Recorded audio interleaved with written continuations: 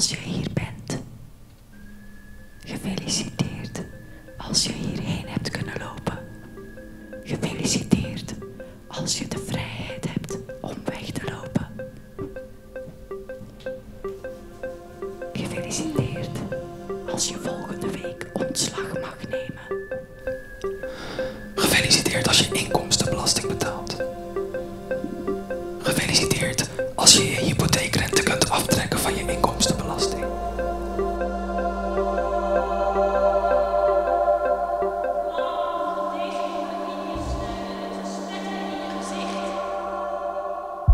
Eh, ik wil jullie uitnodigen om even naar mijn vrienden te kijken, hier op het podium.